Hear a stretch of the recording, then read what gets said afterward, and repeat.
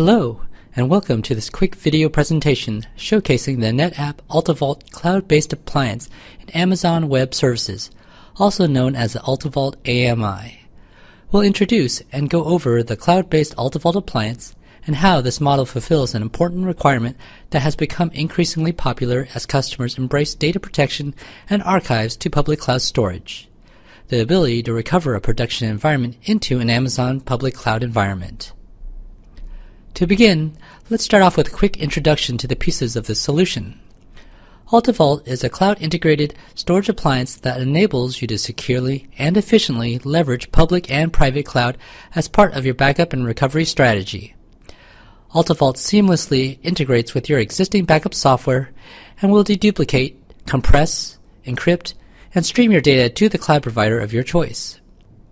AltaVault intelligently caches recent backups locally while vaulting older versions to the cloud, allowing for rapid restores with offsite protection. This results in a cloud economics driven backup and recovery strategy with faster recovery, reduced data loss, ironclad security, and minimal management overhead. Now, let's take a look at an example scenario.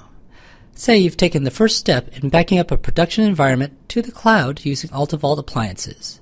That's great because you are now leveraging the highly elastic, scalable, and cost-effective aspects of public cloud storage to reduce administration, cost, and complexity for performing data protection, while at the same time also significantly increasing your disaster recovery posture. Remember, a backup solution is only as good as its ability to get that data back. Then, let's say a disaster strikes your primary production data center, like a fire or a flood, and your entire environment is destroyed. Well, traditionally, you'd have a second environment located elsewhere, in which you'd be able to restore the production environment to. Perhaps you've established a secondary location with a virtual AltaVault appliance to quickly recover the production environment.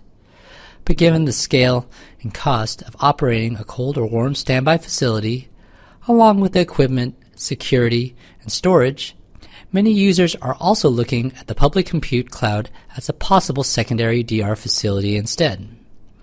Since it can be spun up and used for only as long as you need it, companies can save significant resources and cost versus operating a true secondary DR site.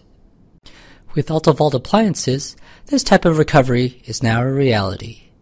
Leveraging the Amazon Marketplace, cloud-based AltaVault appliances can now be spun up within the EC2 environment of AWS to provide you access to your backup environment and production systems, which can now be restored and placed into Amazon's EC2 compute environment.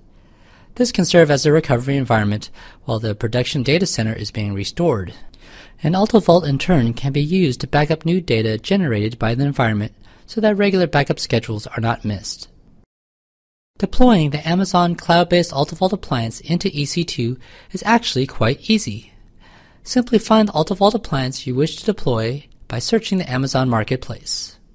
When the product page appears, you will need to select the region you want the AltaVault appliance to be placed into. On the next page, you'll want to confirm the security key pair that will be used to communicate with the appliance once it's running, and then click the Accept and Launch with One Click button to begin deploying the AltaVault appliance. The initialization process will take some time, so let's jump ahead to the end of this process. When the instance completes deployment, we can locate it within the AWS Management Console. If the instance isn't automatically started after initialization completes, let's go ahead and spin it up. After it's up and running, let's log into the appliance capture the public DNS name of your appliance, and start a SSH program such as PuTTY. You'll want to SSH to the appliance using the security key pair file that you generated and set up for the AltaVault instance. If you're using Windows and PuTTY, refer to the following AWS page to properly configure the key pair file for use with PuTTY. When you log in for the first time as an admin user, you'll note that the AltaVault appliance does not prompt for a password. You'll need to configure this first using the commands shown here. We'll also take a minute to configure the data cache volume, which we can perform using the command aws setup data partition. Once these two actions are done, we'll then be able to use the AltaVault console to configure other aspects of the appliance, such as the cloud provider, like Amazon S3 or Glacier, and the CIFS share or NFS mounts. Alternatively, you can import the configuration from an existing AltaVault using the setup wizard, if you'd rather use the AltaVault for DR purposes instead. With that, this concludes the quick video on deploying an AltaVault cloud-based appliance in AWS. Thanks for watching. For more information about AltaVault, visit us on the web at www.netapp.com forward slash AltaVault.